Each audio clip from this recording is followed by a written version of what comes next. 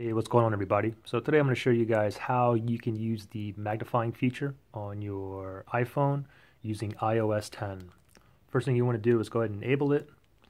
We'll go into settings here and then we'll go into general and then we'll go into accessibility and then if you look right here it says magnifier tap on that make sure that it is toggled on just like this and now basically every time we want to enable it, the only thing we have to do is triple click the home button to start magnifier.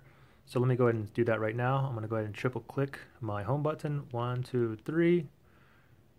And here we go. So here is the magnifier. You can see a $100 bill here. And we have a zoom right here as well.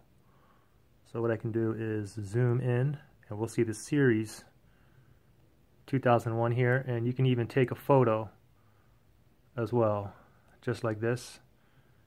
And you can see, and if I want to go back to regular mode, I just tap on it again. And also what you can do is you can put a flashlight on here as well. If you want a little bit brighter, again, here is the zoom feature. Go in all the way out. You can go all the way in as well. Right there, hands are pretty shaky, and pretty much it, pretty simple. Thanks for watching.